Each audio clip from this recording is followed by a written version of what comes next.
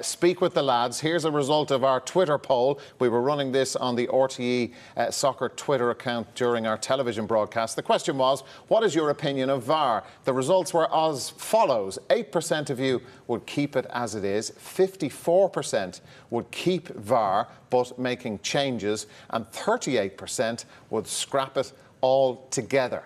Now, if you're with us on the TV broadcast, uh, you will have seen Tottenham really hammer Red Star Belgrade, winning by five goals to nil. We're going to go back to uh, London now, and we're, we're going to hear from one of uh, Tottenham's goal-scoring heroes. Son is chatting with Tony O'Donoghue. Congratulations on a, on a terrific performance. Two goals for you. How important was that for the confidence to be restored for Tottenham?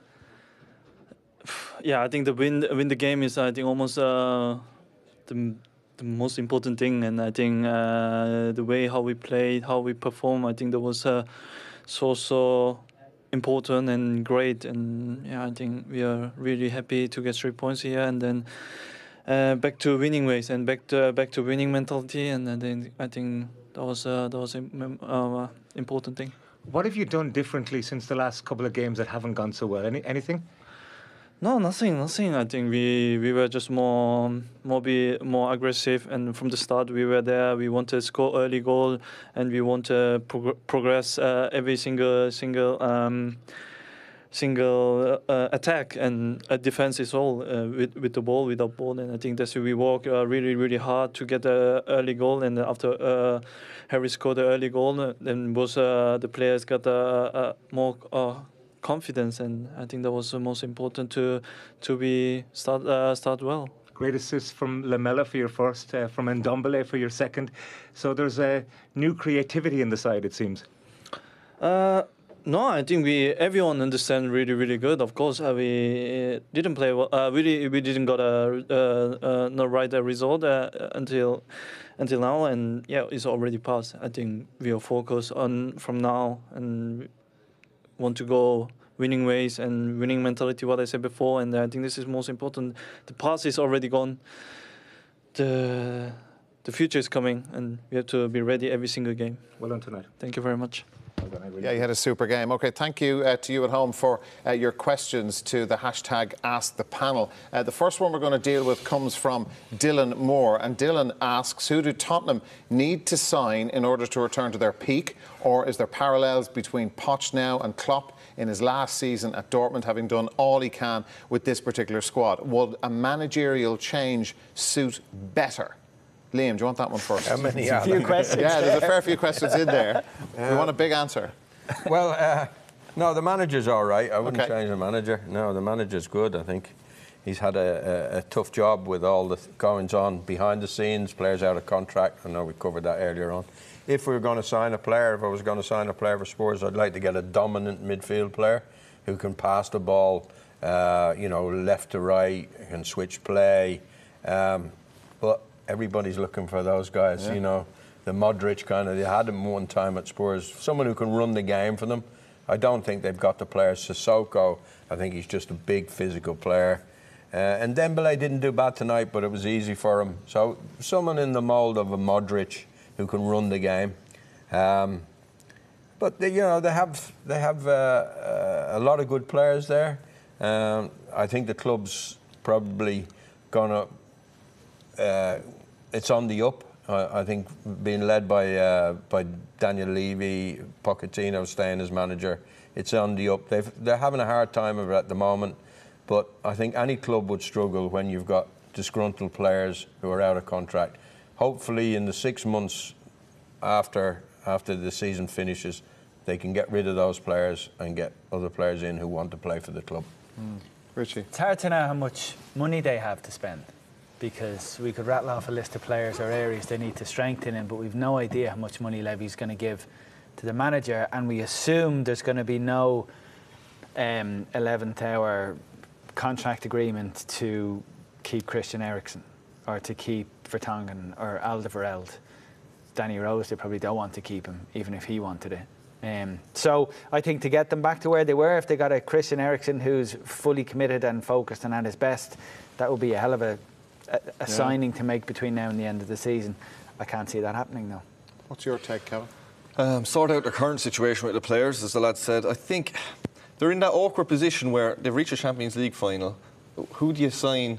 You know, right now where they are, who wants to go there that's good enough to get them back to that level? You know, if you're good enough to be playing the Champions League final, you, you're not going to go to Tottenham Hotspur.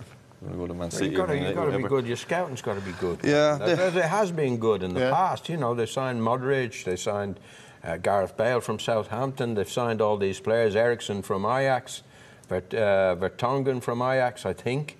Uh, mm, yeah. So their, their, scouting has been strong. They need to be strong again. And their chance was so, their yeah. chance was in the summer after the Champions League. They could have attracted. You know, a lot of well, he needed there. to clear out first, didn't yeah. he? Yeah, I think, yeah, it's a business for Spurs. It's not like it's. We've said this before. It's not Man City where money doesn't matter. It's not Chelsea when Abramovich was throwing the money around.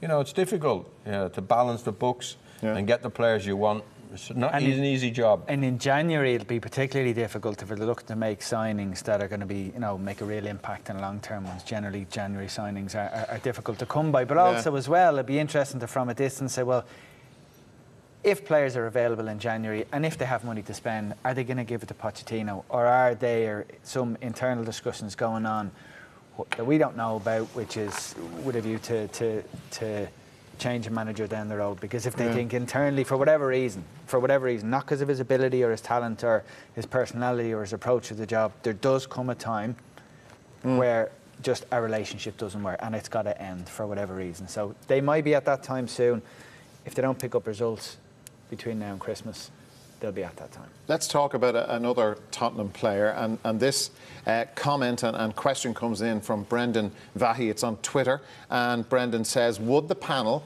have included Troy Parrott in tonight's Spurs squad instead of playing him in the under-19s earlier on today?" Now, if he hadn't played for the under-19s, well, he scored four goals in their UEFA Youth League win uh, over Red Star.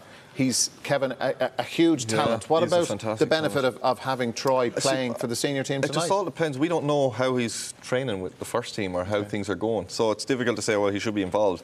If he's, you know, he might be having a tough time with the senior team at the moment for whatever reason. So, you know, he has been involved in the past. He's not at the moment, probably for that reason. He isn't shown as much in training as he was. He's young, he's still developing. Been away to his international side a lot recently. So, he's probably better playing at that age group, okay. getting four goals to give him confidence and getting him back into that first team sort of surroundings and training well again. He has a squad number for the Champions League now. No, he's 17. Uh, to, to, answer the question directly, I, I'd put him in just because I have a, a, an, an, interest in his career progressing. Yeah. But if I'm the manager at Tottenham, I need to remove either Christian Eriksen or Lucas from the bench. And if I'm managing a dressing room which already has disgruntled players, well, the last thing that is going to help my relationship with those two is to bin them for a 17 year old yeah. who's who, who, hasn't done anything in first team football yet. He did play once against Colchester in the League Cup, which mm. they lost in penalties. I think he played about 68 minutes. Didn't have a good game. It was difficult conditions to do well. Um, but there's a big difference. There's a jump between doing well against other teenagers in a youth tournament to doing well at the level that the first team play at. Mm. So, I, I, I yeah be patient with the fella. Uh, indeed, and we will. And uh, uh, some people won't be, but that's fair enough because because he, he, is such a talent. But he's 17 years of age, and uh, Pochettino does he does like him. He he rates him. He's spoken. You know, very favourably about him in, in, the you know in the early parts of the season and in the in the well, close season as yeah, well. Yeah, Pochettino has a has a track record mm. of giving young players a chance. So uh, you'd have to say uh, that Richie's right. If he hasn't picked him, there must be a reason why. Uh, but certainly, I think if he had been there tonight and put him on for 20 minutes, if he's all he's cracked up to be, he would have he would have got a couple of goals against this uh, and this Red Star defence. Sure, yeah. Uh, I'm waiting to see him, but probably the the timeline for him means, Darragh, that he's got to go out on loan and do it in the championship or something like sure, that. Sure, okay. Um, there's something I wanted to bring up, and, and, and, you probably have been reading about this over the last 24 hours. A major new study uh, revealed that former footballers are approximately three and a half times more likely to uh, die from a neurodegenerative disease than the general population. And, and with all three of you lads, I wanted to, to get your views on this because I know, Kevin, and you've spoken a lot about um, issues around concussion, around head injuries, your own career. You, it was ended on medical advice. Now, what was your, what was your instant reaction when you read this study from, from Scotland? Um, I wasn't totally surprised. I didn't know the exact figures. This yeah. is the first time I've seen that figure mentioned, but, you know, I haven't been told about it and all the different stories with with um, the NFL and different things, it's not surprising, I think. Um, especially going back in the area this study was taking a sample of players from um, when, when the ball would have been in the air a lot more, when the ball would have been a lot heavier. Um, you know, it's definitely going to cause more issues, I'd imagine, for those players than the current crop of players coming through, hopefully, who are under a lot better guidance and, and medical guidance and a lot better protocols, as they mm. call it, to uh, hopefully avoid this in the future. Liam, did it shock you those those no, numbers? I'm not no? surprised at all. I, I know too many uh, uh, of uh, some teammates, some contemporaries who are suffering uh, with these illnesses, mm. and it doesn't surprise me at all uh, when I when I think back of all the all the balls they would head, not in games only, Darragh, but they used to like the centre backs and the centre forwards would practice for you know hours in a, in in the course of a week on heading the ball as hard as they could, and people would be crossing it, and centre backs would be heading it away, trying to head it away as far as they could. But it might be a wet winter's morning when the ball was soggy and the yeah. ball was heavy. I'm not surprised at all. I have a couple of my teammates, you know, who I played with at Arsenal, who are suffering, uh, and it doesn't surprise me at all. And, and uh, there has to be more um, uh, study of this, mm. and uh, some precautions may have to be taken, especially for young kids, especially for you know young young boys who are uh, whose you know physique is not being uh, yeah. is not being formed. I listened to somebody on the radio today, an expert saying like your brain doesn't form till you're 18 to 24. And if you're heading the ball at 11 and 12 and 13 years of age, yeah. it might be dangerous. It might change football completely. We'll just have to wait and see. Richie, Richie what do you think? Do you think this has the potential to, to utterly change the game of football? Well, I suppose we're relatively early on in the process mm. um, for many, many years, and a lot of footballers and their families can can give their own accounts. It's difficult for a lot of the, the, football world to take player welfare seriously. That's been kind of the case for, for a long, long time. So studies like this, I think there will probably be, be more of them, a little bit more comprehensive, and we'll keep getting results similar to that. So then the question then is, what, what do you do with that information? If you now know that re repetitively hitting the ball, we assume this we're talking about, is going to put players at long-term risk of their health again, I, I, don't know how you react appropriately yeah. to, to, that. Um, your instinct tells you you've got to do something. You can't just keep getting these reports saying, okay, yeah, we're all at greater risk, but let's change nothing. That would seem to be an odd response. So we'll wait and see what, what you do. But I assume mm. you've got to do something. Yeah. But I, the knowledge I, is there now that, cer yeah. that certain behaviours in this, to call it a job, puts your health at long-term risk.